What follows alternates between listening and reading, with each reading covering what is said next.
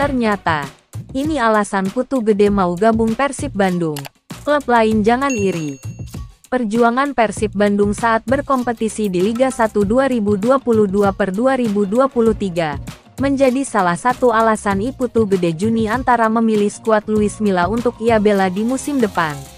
Pemain kelahiran Gianyar, tanggal 7 Juni tahun 1995 tersebut menjelaskan, Persib Bandung memiliki mental yang sangat kuat untuk meraih gelar juara di setiap musimnya skuad Luis Milla berhasil finish di posisi ketiga setelah sebelumnya sempat berada di klasemen bawah pada kompetisi Liga 1 2022 per 2023. Persib Bandung adalah tim besar dan sangat tangguh di setiap tahunnya, kata I Putu Gede. Tercatat sebelumnya, tim Persib Bandung sempat berada di posisi ke-17 di awal musim Liga 1 2022 per 2023. Hal itu disebabkan karena Persib Bandung tidak mampu meraih kemenangan. Seperti saat melawan Bayangkara FC tanggal 24 Juli tahun 2022, Madura United tanggal 30 Juli tahun 2022, dan Borneo tanggal 7 Agustus tahun 2023. Namun seusai pelatih Luis Milla datang mengganti Robert Rene Alberts, posisi Persib Bandung di klasemen Liga 1 2022 per 2023 semakin meningkat hingga finish di posisi ketiga. Jadi dengan adanya hal itu, saya sangat tertarik untuk bergabung dengan Persib Bandung, tambahnya.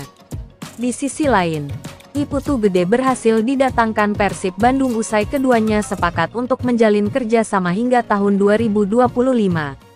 Dengan adanya kesepakatan tersebut, Persib Bandung saat ini memiliki tiga pemain baru seperti Rian Kurnia, Persikabo 1973, dan Edo Febriansah, RANS Nusantara, yang sudah terlebih dahulu bergabung. Ancam dua pemain, Iputu Gede Juni antara akhirnya resmi bergabung dengan Persib Bandung di tengah persiapan kompetisi Liga 1 2023 per 2024. Dengan masuknya Putu Gede ke dalam skuad Luis Milla, Persib Bandung kini memiliki tiga pemain baru. Sebelumnya Maung Bandung sudah merekrut Rian Kurnia, Persikabo 1973, dan Edo Febriansah, RANS Nusantara. Putu Gede yang merupakan pemain kelahiran Gianyar, tanggal 7 Juni tahun 1995 tersebut, digadang-gadang akan mengisi posisi bek kanan untuk kompetisi musim depan. Bersama dengan Henhen Herdiana dan Erianto.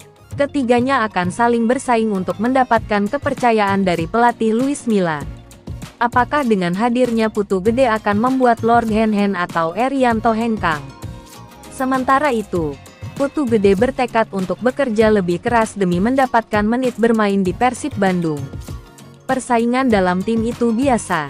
Yang terpenting, tim bisa meraih hasil positif saat kompetisi berlangsung, kata Putu Gede. Menurutnya, setiap pemain memiliki tujuan yang sama saat kompetisi berlangsung. Putu Gede menambahkan ia akan tetap bekerja keras untuk membawa Persib Bandung meraih hasil yang maksimal. Mudah-mudahan bisa saling mendukung dan sama-sama meraih hasil yang positif, ujarnya.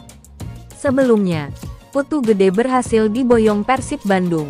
Keduanya sepakat menjalin kerja sama hingga dua musim berturut-turut.